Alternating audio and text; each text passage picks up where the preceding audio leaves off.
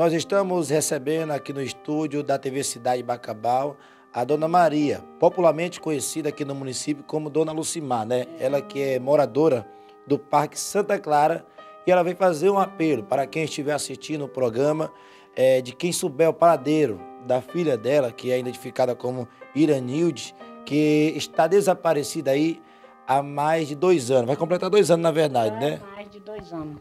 Há mais de dois anos que ela está desaparecida. Eu não sei qual é o mês, eu, não me lembro mais que foi, fosse em dezembro, né? Que ela desapareceu e nunca mais, nem notícia, só sofrimento para mim. Ela veio para cá para cuidar de você, aí depois retornou para a cidade. Aqui, ela fugiu daqui do, do Bacabal, da onde nós morávamos, eu nem sabia. No dia de eu me operar, tá, tá, ela estava internada porque tinha fugido. Aqui a TV foi, bombeiro, todo mundo, ela estava dentro de, uma, de, uma, de um esgoto. Que, esses esgotos passam na rua. Escondido, né? É, ela não estava escondida, estava caída, não se levantava, não falava nem nada. Aí no dia de eu me operar, levaram ela para o hospital, esconderam de mim porque eu estava muito doente.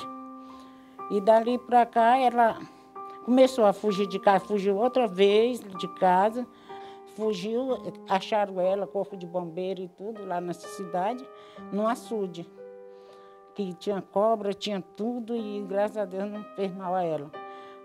Aí trouxeram ela para onde eu estava, levei para Teresina e lá o médico disse que ela não tinha, não tinha loucura, que eu fui, levei para o médico psiquiatra. Não tinha loucura. Não tinha problemas mentais, né? É, não, ela não tinha problemas mentais, o médico disse. Aí eu não sei o que foi que levou ela a fugir e nunca mais aparecer. Só sofrimento, não termina esse sofrimento. Ela é um pouco agitada também, é? Não. A pessoa calma, tranquila, não xingava, foi crente um monte de ano, não tinha nada de perturbação. Eu, eu vi assim, porque além de ela sair, eu me operei, andei perto do do fêmea, meu filho, quem veio cuidar de mim, que mora lá também, estava junto com ela acompanhando esse sofrimento meu e dela. E ele era quem era o. Quando ela fugia lá, ela fugia, ele caçava. Meu filho mais velho. Todo mundo lá, os parentes lá, que moram lá, caçava ela, achava. Agora dessa vez não achou mais. Tá com mais um. Tá. Que está com mais de dois anos. Eu não sei se foi em dezembro, não me lembro, porque depois que eu caí essa queda, eu bati também um pouco com a cabeça em cima de uma pia fiquei assim um pouco esquecida. Só que dela eu não esqueço, da minha filha.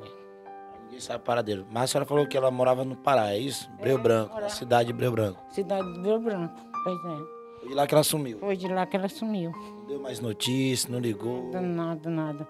Aí eles caçaram. Segundo eles, que agora tem uma, uma, um um, uma comunicação lá, como aqui também, que caça as pessoas. E eles já botaram elas várias vezes nunca acharam nesses comunicação, não sei o que é lá também, no Pará. Ela morava com alguém lá? Tinha alguns... Com a filha dela. Eu tinha, tipo assim, eu tinha uma casa, eu troquei para ela ter a casa dela, eu dei a casa para ela, casa própria, para morar com a filha dela. E de lá ela fugiu da casa. E a filha dela? A filha dela mora lá ainda na casa, só que a filha dela é tipo assim, ela fugiu três horas da madrugada, não deu da menina ver. Deixou a menina para trás. É, deixou. É menina não, uma mulher também, deixou para trás. Hoje ela tem 30 anos, completou ontem. 30 anos. Fica a situação complicada, né?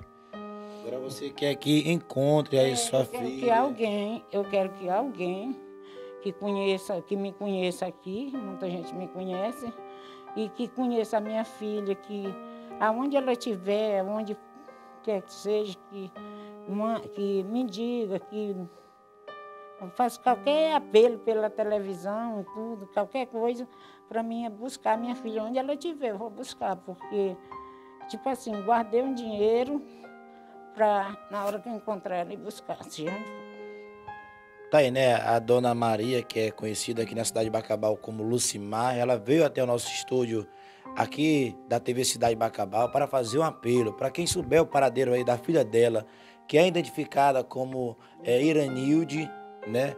Ela sumiu lá da cidade de Breu, né? Breu Branco do, do Pará e ninguém sabe o paradeiro. Segundo ela, ela teria fugido na madrugada, deixando a filha para trás.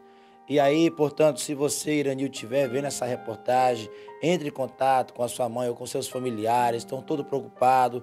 Isso, segundo a dona Maria, que já faz mais de dois anos que ela desapareceu, mas sempre ela tenta a comunicação, senta, sempre busca, né, tentando localizar, mas nunca teve resposta, né, dona Maria? Já vim três vezes, já vim duas vezes com essa, e no dia que ela fugiu daqui, eles foram eles foram lá acompanhados com o corpo de bombeiro, com, com a polícia, para poder ver se encontrar ela. Nesse dia encontraram ela dentro de um, de um barreiro d'água, aí um esgoto. Aí dessa outra vez, que foi agora, agora dois anos atrás, só choro muito meu que eu, é, ninguém quer saber o tamanho da dor de uma mãe que perde um filho dessa maneira. Eu acredito que eu não queria nem dizer, mas é, é muito duro eu dizer que às vezes eu não tenho mais nem esperança de estar viva. Mas pode ser que esteja. Segundo eu, gosto muito, graças a Deus, sou evangélica, gosto muito da igreja. E algumas pessoas na igreja falam, não sei se é minha reanimando, né? Dizendo que ela não morreu, que ela está viva. Ela não morreu, que ela está viva. Aí não sei se é a esperança que me dão, não sei se é Deus que. Não sei não. Só sei bem que eu não. Nada, nada de notícia. Nada, nada, nada.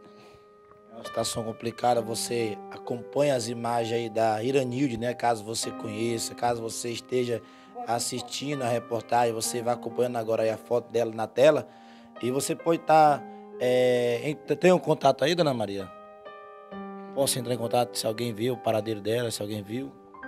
Se... Ou até mesmo dizer a localização da sua residência? É, não, a localização é, é Rua dos Canários, é, é Parque Santa Clara, Rua dos Canários, Casa 14.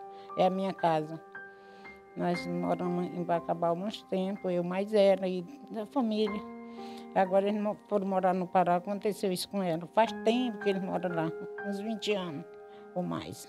Ela sempre fugia assim de casa, né? Sempre é, sumia. Né? Não com esses 20 anos, é, é assim, passou mais ou menos um ano ou dois fugindo aqui é lado de casa, lá de onde ela morava.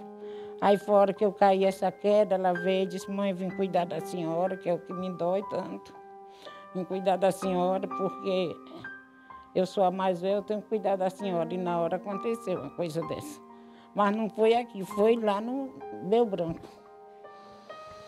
No estado do Pará. No estado do Pará. Agora fica assim uma situação meio complicada, né, Maria? Sem ter notícia, sem ter informação nenhuma. Não, não tem informação.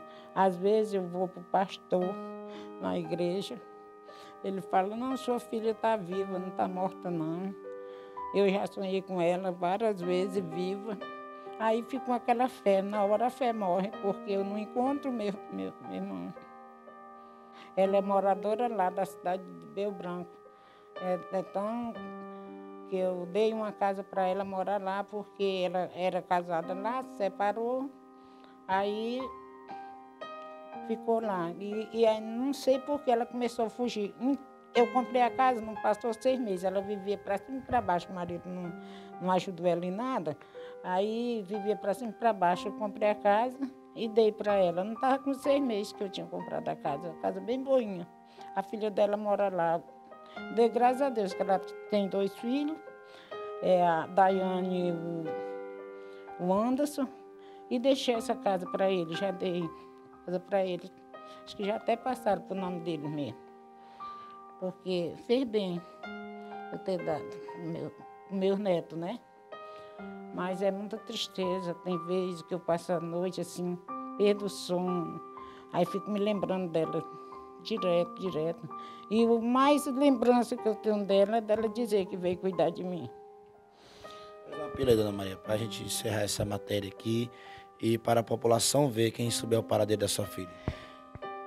O apelo que eu faço é que quem, quem tiver notícia dela, onde ela tiver, tiver notícia dela, por qualquer tipo de jeito que tiver, que ele possa me, me dizer, ou mandar me dizer, ou mandar por carta, mandar por telefone, mandar, seja o que for, que aonde ela estiver, e eu ter certeza que ela está, ela vai ser procurada, que eu vou mandar procurar ela. Eu quase não aguento mais.